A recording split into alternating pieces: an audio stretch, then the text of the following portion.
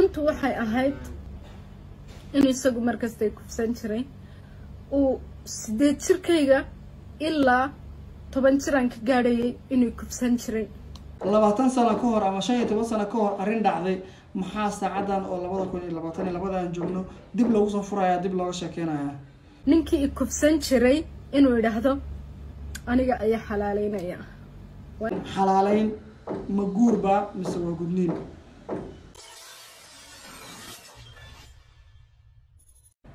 asalaamu calaykum waraxmat ullahi wabarakaatu meel kastaa joogtaan aad baadin salaamaya waa anigo walaalkiin sanka halkaaga daawanaysaana waa happy family. Kusoo dhawaada gacan furan deedsan fiham meel kastaa joogtaan waxaa idin leeyahay subax wanaagsan galab wanaagsan duur wanaagsan wax walba idin tahay wanaagsan. Annaga jawi yaroo qurux badanaa ku jirnaa maanta waxaa dirajaa idinkana joogiini wanaagsan yahay. Maanta barnaamij kale idin wadaa aada u qurux badan. Waxaan jeclahay marka idinkan dhanka commentigan ay nagu wadaagtaan wixii fikradihiina ah.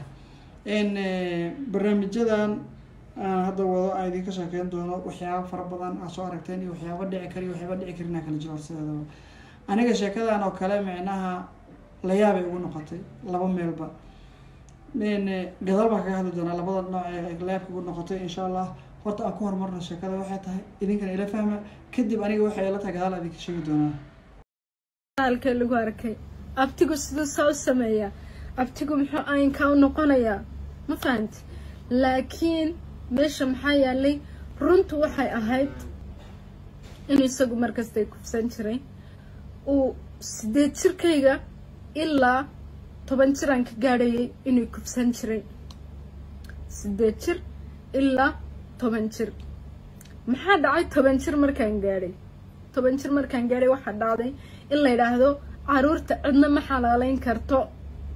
Ha la joojiyo hargeysa marka waxaa dhacday in laygu sameeyo ninkii i kufsan jiray inuu idhaahdo aniga ayaa horta horta ma maleynayo sababta horta biniadanka isku mid ma aha abtiyaal wanaagsan oo micnaha aada iyo aad u wanaagsan wax lagu day wax lagu doorsanayo maanta aana jirin way jiraan. Abtiyaal bahlana way jiraan. Gabadhan waxay tiri abtigayba i kufsaday. Haddana la ii geeyo i marka i xalaaleynta aniga laba mar u fahmay mar waxaan u fahmay i xalaaleeyey gabadhii uur baa ku soo baxay abtigiibaa ceeb asturay camal oo guursaday. Way noqoni kartaa. Mar kale i xalaaleeyey iyadana waxay noqoni kartaa abtigiibaa gud guday oo micnaha waxay tiri gudniinka dhankiisaan i hargeysa mar baa laga joojiyey. Xalaaleynta kadib abtigiibaa lii geeyo i xalaaleeyey laii qabto meel lii fariisiiyey marka xalaaleynta idinka se u fahanteen aniga labadaas shay u fahmay. Idinka midka saxaan idinla tahay bal hoos commentiga nagula warraabay insha allah xalaaleynaya waa ninka laygu yidhi waa abtiga. Ayaa laygu yidhi isagaa ku xalaaleynaya anigu qof anigu amar aan bixin kara maaha. Qasab familku hadduu yidhi way dhacaysaa wixii waa la sameynayaa ma fahanti? Abtigii kufsan jiray ayaa intuu kacay haddana isku dayay inuu i xalaaleeyo. Waa la ii qabtay isagaa lay hordhigay waa la ciijiyey horta abtiga abtiyaasha micnaha abti mid waxaa jiro dhanka qabiil hooyo dhinaceeda ka imaado qabiil ahaan kugu imaado abti kugu noqday. Mid hooyadaa la dhashay oo micnaha dee abtigaa waa hooyadii aan naas lahayn la dhaho. Mid waxaa jiro abti guur mudan oo dee familka dhankiisa micnaha adiga meelahaas kaasoo galgalayo oo abti ah laakiin abti guur mudan ah. Maadaama abtiga iyada uu kufsaday ee micnaha dhibaato u geystay horta midda koowaad waxaa qalad ah ama aan la ogoleynba aniga saan aaminsanahay idinka saa aaminsantiin ay ugu sheegi doontaan in gabar micnaha nin uu gudo gabar ama xalaaleeyo. Si iyada dheheyso micnaha dadka soomaalida waa kale lahjad. Inuu gabar nin gudo weligii ma aanan maqlin. Horta maqasha weligii ani maan maqlin. Gabar nin gudaayo waa midii ugu horreysa aan maqlo. Waxaa laa sideedaba cimrigaagu raagay. Gel ilaahay kutusaaya dhahan mogtaa dadka marka haddii cimrigaygu raagay maalinba maalinta ka dambeysa si wax loo arkayo wax loo arkayay maanta taraa dul taaganahay abtigii kufsaday i xalaaleeyey misna. Haddana midda kale aniga aan la yaabanahay waxay tahay sheekadan markii ee dhacday lagama hadlin. Labaatan sano soddon sano kadib qofku markuu dhoofo oo uu meel kala tago uu arko inuu independent gaaray oo asiga isku filnaansho u gaaray kadib meesha soo fariisanaya uu ka hadlaya wixii o dhan. Hadda gabadhan markaani arkaayo waxay uga hadlaysay sida arrinta inay shalay ku dhacday oo kale oohinta qulqulanaysay dhibaatooyin badan ay sheegaysay soddon labaatan sana labaatan iyo xoogaa sana ka soo wareegatay. Hadday ugu yartaa ama dhowr iyo toban sana ka soo wareegatay. Aa maanta la soo cusbooneysiiyey maxaa sababay in arrimahan oo dhan dib loo soo faago oo inta buugga dib loo kala furo? La dhaho arrintaas ay u dhacday. Hadda ka hor saasaa la yeeli jiray. Abtigii baasaan yeeli jiray. Adeerkay baasaan ahaa. Dhibaatooyinkan oo dhan intay ka socdaan horta. Aan sii socono magaalo joogto socono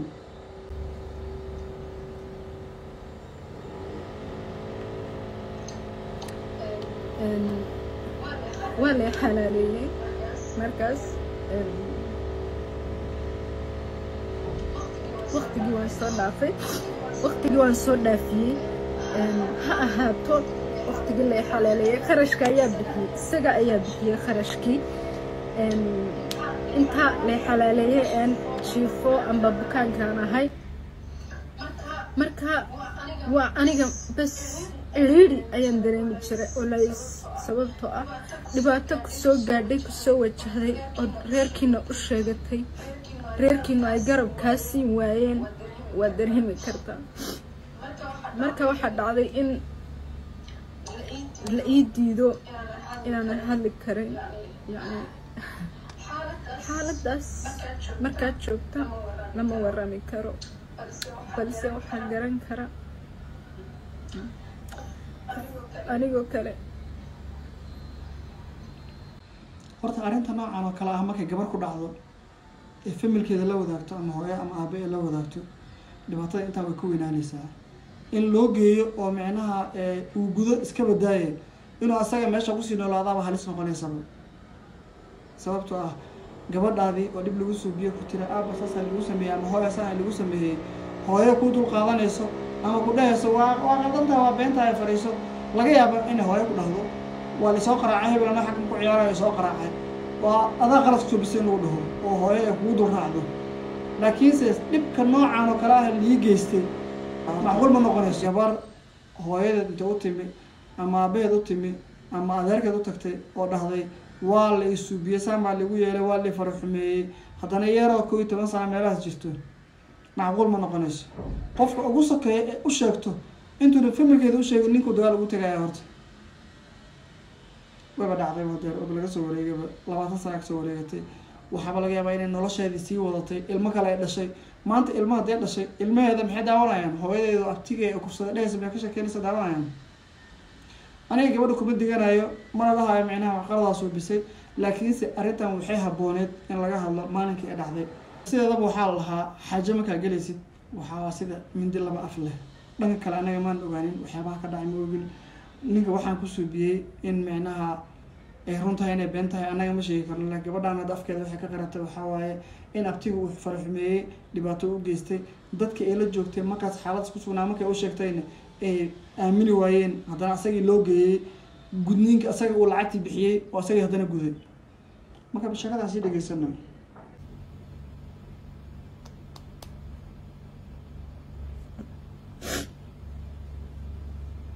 nabarkeyga oo kale qof loo geystay unbaa ogaan kara. Yani iga raalli noqdaa saxaabay waan isbar qaban karin. Yani waan caburmayaa markaan arko waxaasoo kale yani markaan xasuustaba waan caburmayaa markaa waxaa dhacday in maxay ahayday kubsigii lai geystay iyo xalaaleyska ninkii kubsan jiray inuu xalaaleeyo wixii oo dhan waan dul qaatay waan eegay gurigeenii. Khalaas waxaan bilaabay inaan meeshii aan ka fogaado gurigaas inaan ka fogaado sababtoo ah waalid ilaashanaya haddaanay jirin inaan anigu waqtigaas nafteyda ilaashado qasab bay tahay. Waan iska tegi jiray xaafadaasaan u shaqo tegi jiray. Xaafad kastoon tago waa lay shaqaaleysan jiray waan shaqaysan jiray waa laysoo qabtaa gurigeena marka laysoo qabto waa lay dilayaa waa lay xirxidhayaa xadhiginta laygu xirxidho biyo laygu dul shubo. Ayaa lay garaaci jiray. Waxaasoo dhan. Yacnihii markaan baxsado sababtoo ah meel aan nabadaada lagu sugi karayn qof nabadaada ilaalin karayn mas'uuliyad waa family inta la yidhi amba waa waalid waa aabbaha waa hooyada. Oon intay ku dhaleen halkaa ka soo gaadhsiiyeen haddana silic iyo balanbal kale inaad adiguna si aad lagugu sii abiyuuso lagu cadaadiyo silicii dhibaatadii in lagu geysto aada bay u culus tahay. Laakiin taas ayaa garan karaa qof dhibaatadaas soo gaadhay ayaa dareemi kara. Sax dhib kastoo kugu dhaco qofkii uu ku dhacay unbaa dareemi kara. Dadka noocan oo kale ah micnaha horta way badan yihiin oo micnaha sheekooyinka dib kaga sheekeeyo waxyaabihii ku soo dhacay waxyaabihii fara badan ku soo dhacay. Waxaana sababi kara waxaan kale micnaha depression qofka inuu ku dhaco isla hadal fara badan uu imaado waxyaabo uu sawirto. Sida hadda ka hor gabar swedenka joogtay sweden joogtay oo fanaanad ahayd dhehaysay meel daweyn iyo micnaha isla hadalay bilowday. Waxay bilowda marka inay ka shakiso hooyadeed iyo walaalaheed iyo kulligu ay dil rabaan saana yeel rabaan masjaa liisoo diray waa lila soo hadlay saana la dhahay snapchat iska duubtay dhahdo waa noolahay weli maana dhiman saa rabteen mayna noqonin way dhici kartaa depression cudur la jiro oo micnaha dadka micnaha maskaxda ka dego. Waxyaaba aana jirin u sawiraayo. Marka horse wax u yidhacayn allahu aclam. Qof walboo dhib uu gaarayna waxaan leenahay ilaahay ha ku insha allah aniga ma jecelina video ku sii dhawaado waxay tahay laba su'aal wataa. Su'aasha kuwaada waxay tahay xalaaleyn ma guurba mise waa gudniin. Su'aasha labaad waxay tahay labaatan sano ka hor ama shan iyo toban sano ka hor arrin dhacday maxaa saacadan oo labada kun iyo labaatan iyo labada aan joogno dib soo furaya dib looga sheekeynaya. Waxay idinla tahay commentiga hoose igula wadaagay insha allah. Videogan video xiganta kulmi doona waxaa idinkas tagaya waxay tahay. Asalaamu calaykum waraxmatullaahi wabarakaatu fi amaan illah